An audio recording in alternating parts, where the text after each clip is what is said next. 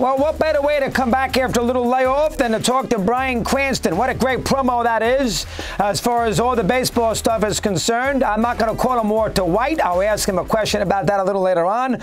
We're going to start with baseball. Bryan, nice to talk. Christopher Russo, how are you today? Okay? Thanks, Mad Dog. Good to be with you. Always a pleasure. Two things growing up in LA in the 60s one the Beatles, two Vin Scully. One after another. Let me hear your thoughts on both. It really helped you out. Go ahead. Let me hear. Unbelievable. I mean, I, the first Dodger game I went to was in 1961 at the LA Coliseum. I don't really remember much of it. I was five and a half years old, but I did remember one name Wally Moon because I knew that wow. association. So it was incredible to me that there was a player named Moon. And later on, I named my production company Moonshot because that's what Wally's expertise was hitting the little chip shots up and over the netting in the LA Coliseum. And then in 1962, when Dodger Stadium opened, my dad took my brother and I in that first year.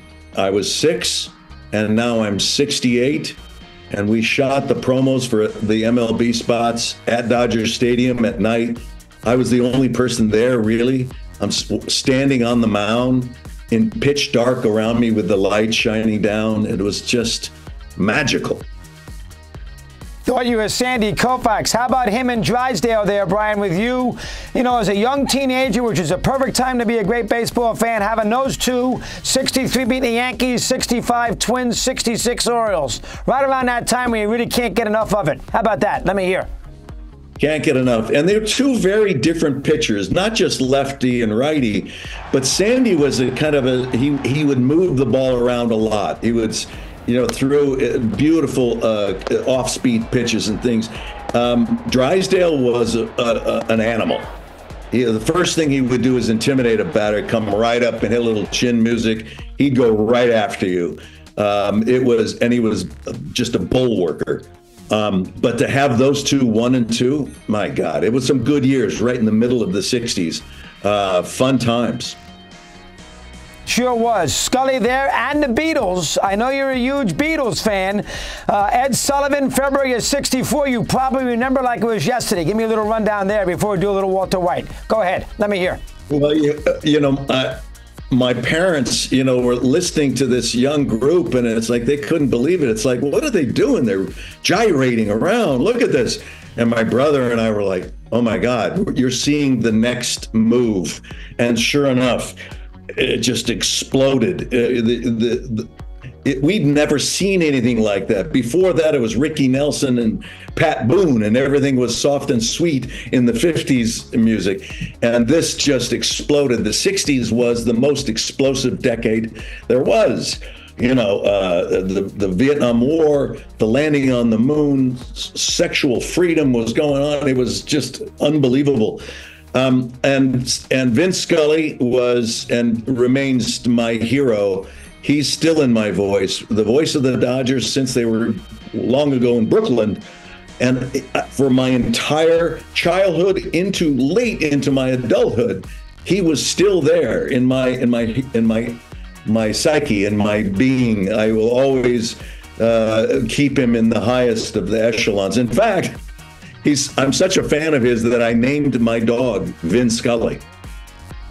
Oh, wow. So Wally Moon and Vin Scully for Bryan Cranston. I like that. Little moon shots down a left field line. All right, how about the, um, let's do a little movie stuff. Saving Private Ryan. I don't mean, I love the movie with Hanks. Big, that was a good part for you. Give me a little rundown about that role, which was a, sort of a documentary, but a lot of great stars in it, including the guy who played Roger Maris in the 61. Let's not forget that. But a wonderful film. Tell me about that for a sec. Go ahead. Let me hear.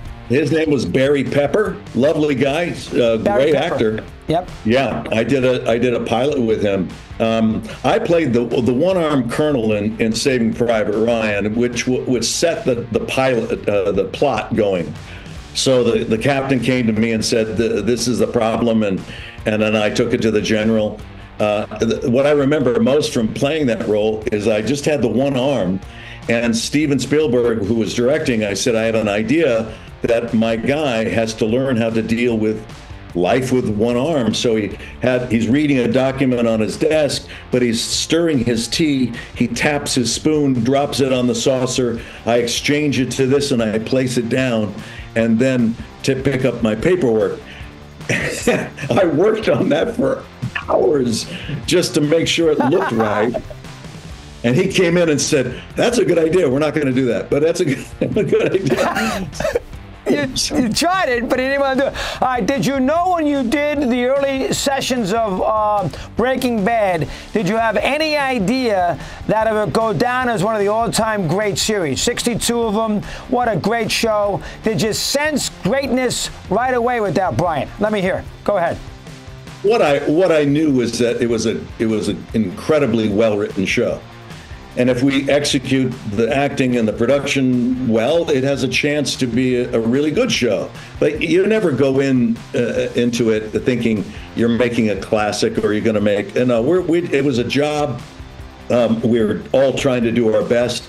And just like um, players, you know, going into the major leagues, uh, you just hope you get a shot at it. Do you think you're going to be, you know, into the Hall of Fame? Maybe, but you know that's just so such a pipe dream, and your performance in that is going to dictate. It's not up to you whether you make the Hall of Fame. It's up to the writers, and it's up to your your stats. So you just have to keep your nose down, do your work, and uh, if they tap you on the shoulder and say, "Hey, good job," we think you should be in the Hall of Fame or whatever, or win an award. Well, then that's fantastic, but you can't use that as as the goal. You know, a sign of a great actor like yourself who can do a role like that and still has other things that he's remembered for. You know, Carroll O'Connor was great as Archie Bunker, but he was also great in Heat of the Night, that show he did five or six years later.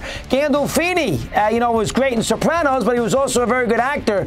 You have had other roles on top of Walter White, which also cements you as an all-timer. I mean, you were great in Your Honor. That was a great, that you were phenomenal. The poor judge there in New Orleans who can't get out of his own way with the poor kid with the, with the death. I mean, so you have been able to separate other things besides Walter White, and that's hard to do for such a tremendous performance in a great role, and you've been able to do it. Talk about that for a sec. Let me hear.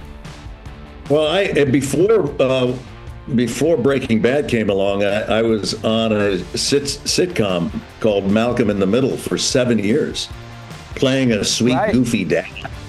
And so when Vince Gilligan, who created Breaking Bad, said, I want Bryan Cranston for the role of Walter White, the studio and the network said, whoa, whoa wait a minute, that that sweet goofy dad from uh, Malcolm in the Middle, no, that's not Walter White.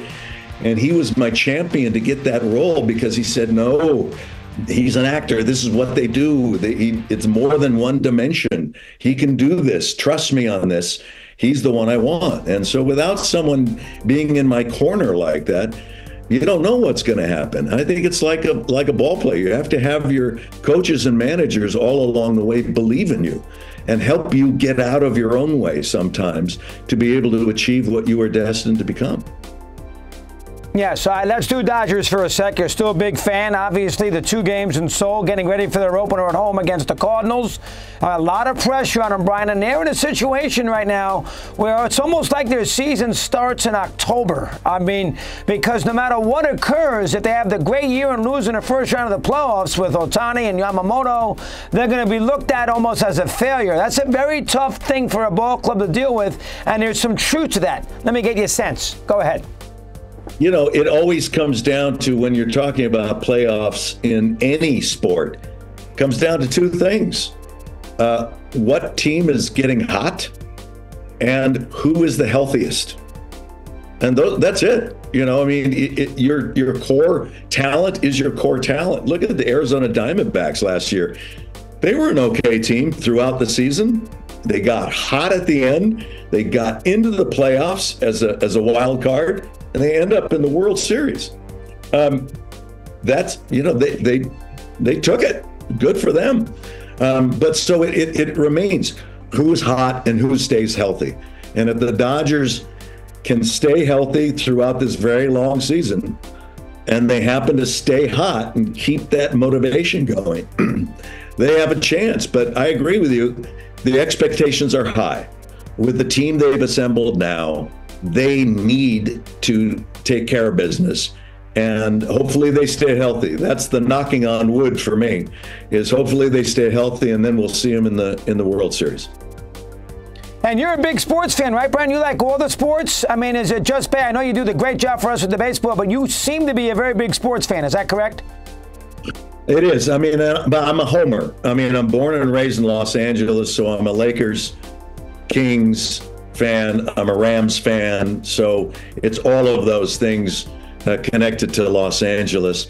Uh, but I love sports. It's um, it's you know, it, you know it, back in the day when man was still in a cave he has to go out and and and kill a mammoth you know it's like and they made sport out of it uh, well we don't do that anymore so we have to have fun and competition you know men are are generally just competitive with each other and it, as long as you can keep it in, in a healthy way it's it's a lot of fun whether you're you know playing uh, you know a dollar a hole in golf, or or you're betting on uh, on the outcome. Or here we come, March Madness coming up. How exciting is that? Oh, we love every minute of it. We love this spot too, Bryan. Don't disappear. Great job with the promos. Uh, you've given America a lot of fun with all these roles. Thanks for a few minutes here today. Keep it going. Thank you, Chris.